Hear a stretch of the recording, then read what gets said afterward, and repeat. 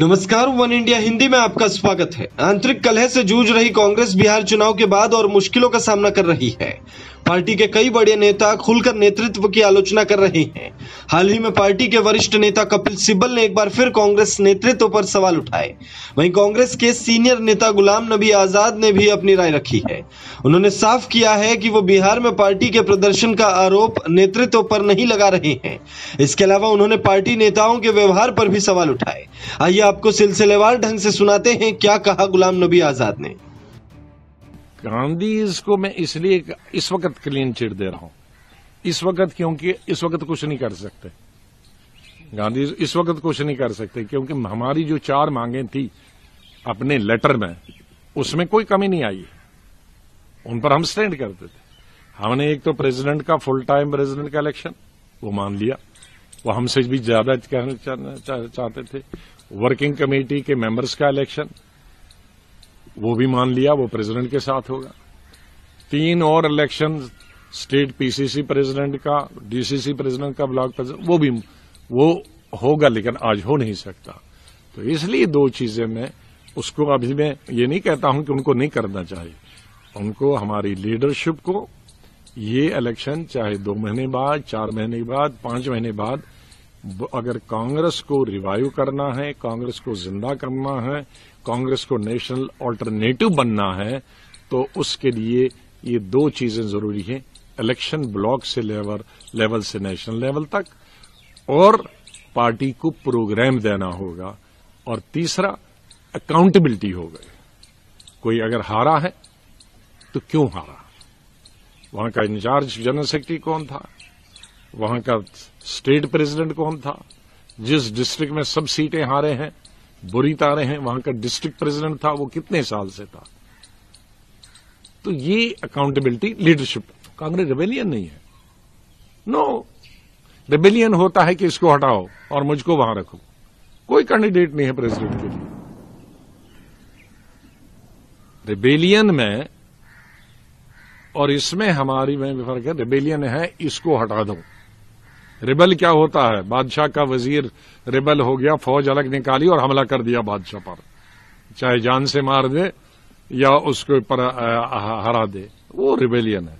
ये रिबेलियन नहीं है ये रिफॉर्म है। बादशाह ठीक नहीं कर रहा फैसला वज़ीर उसको कहता साहब आप चोट खाओगे मार उसके पास ये दाव है ये उसको हथियार है लेकिन आपके पास ये नहीं है आप ये हथियार ऐसे लीजिए नहीं तो मारे जाओगे।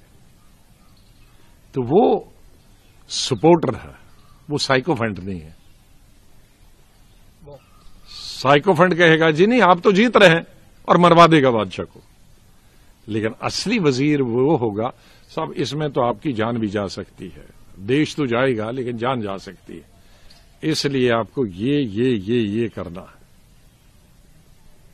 तो हम वो हैं, हम कहते हैं, इसमें आपकी पोजीशन भी जाएगी पार्टी भी जाएगी, देश को भी नुकसान होगा।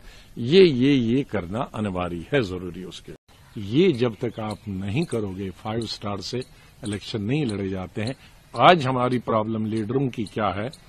लीडरों के है टिकट ले दिया तो जाके फाइव स्टार में पहले बुक हो गया। फिर फाइव स्टारों में भी कौन सा अच्छा है, उसमें चले जाए कि फाइव स्टार डिलेक्स होगा तो उसमें जाएँगे। फिर एयर कंडीशन गाड़ी के बगैर नहीं जाएँगे।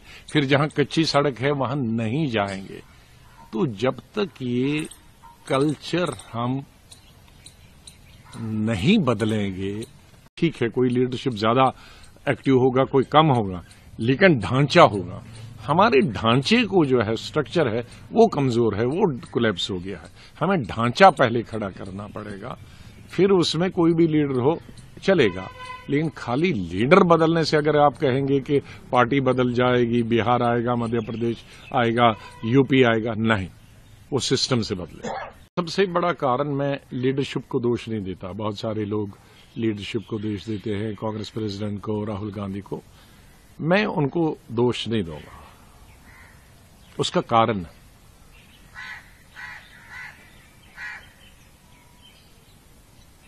जो लोग वहाँ होते हैं, उनका कनेक्ट टूट गया। लोगों के साथ। वो ब्लॉक लोगों के साथ कनेक्ट टूट गया है। डिस्ट्रिक्ट लोगों के साथ कनेक्शन टूट गया है। प्रॉब्लम क्या है कि जब कोई पदाधिकारी हमारी पार्टी में बनता है तो वो लेटर पैड तो छाप देता है, विजिटिंग कार्ड भी बना देता है तो वो समझता है कि बस मेरा काम खत्म हो गया। काम तो उस वक्त से शुरू होना चाहिए। इश्क होना चाहिए आदमी को पार्टी से।